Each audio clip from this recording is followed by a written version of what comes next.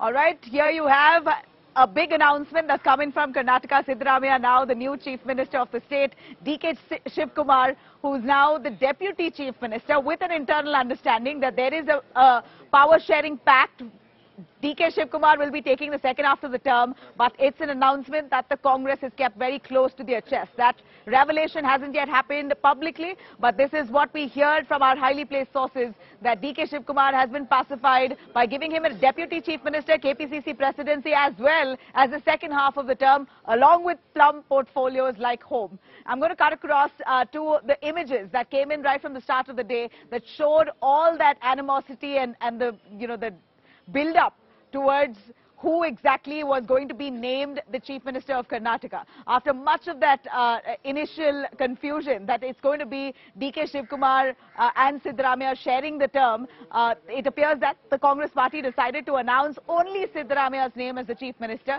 They did not mention about a sharing pact and they also very clearly said that DK Shivkumar will act as a deputy and he will work shoulder to shoulder with Siddaramaiah and under Siddaramaiah's guidance, DK Shivkumar and Siddaramaiah will, will ensure well welfare for the state of Karnataka and ensure all the promises of guarantees that they have made in the state will be delivered. In fact, this kind of uh, the, the, split between the two leaders uh, in the run-up to this announcement was evident. DK Shivkumar, Siddaramaiah were digging in their heels. Both of them accepted nothing less than a chief minister's post. And finally, the Congress has come up with a formula and almost three days after deliberations, finally revealed it through a press conference. I'm going to cut across all those reactions where you had Randeep Surjewala, K.C. Venugopal very clearly stating Siddaramaiah, the next Chief Minister for Karnataka. Listen in. भाई भारत की जनता को भी बताना पड़ेगा रणदीप जी क्या वो formula था जो आप लोग ने जिससे खाका तैयार किया आदरणीय खड़गे साहब को अपना ज़िंदगी का लंबा तजर्बा है उन्हें ज़िंदगी में किस प्रकार से उस लंबे तजर्बे के आधार पर किस प्रकार से प्रांत की प्रगति और तरक्की हो इसकी इसका तरीका उन्हें आता है और उसके आधार पर उन्होंने निर्णय कर दिया हमने केवल वो निर्णय आपको बताया है। ये कहा गया आपने कहा कि दोनों लोग रेस में थे और उसके बाद रायशुमारी के बाद सिद्धारमैया आगे निकल जी नहीं रायशुमारी जो है उसका आधार कंसेंसस बिल्डिंग है। एक मॉडल पूरा देश देख रहा है मोदी जी का है जहाँ डिक्टेटरशिप से बात थोपी जाती है। एक मॉडल सोनिया गांधी जी का, राहुल गांधी जी का, प्रियंका गांधी जी का, खड़गे साहब का, कांग्रेस का है, जहाँ राय शुमारी इसलिए होती है कि एकता बने, प्रदेश को ताकत मिले, लोगों को ताकत मिले, और कंसेंसस बने यूनैनिमिटी बने और यूनिटी पे।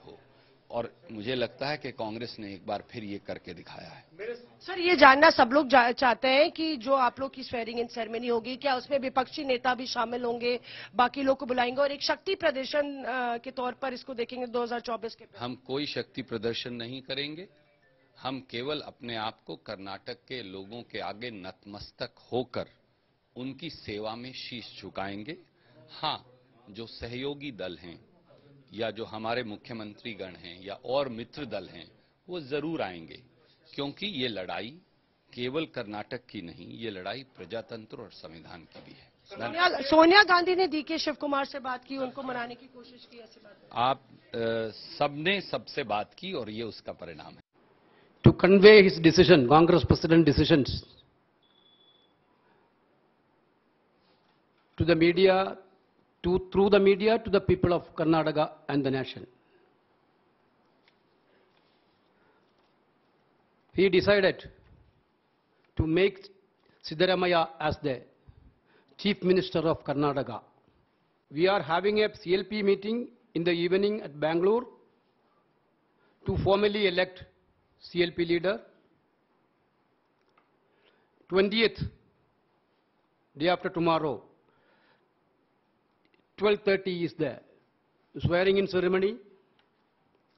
Along with the Chief Minister and Deputy Chief Minister, a group of ministers also will be sworn in that day.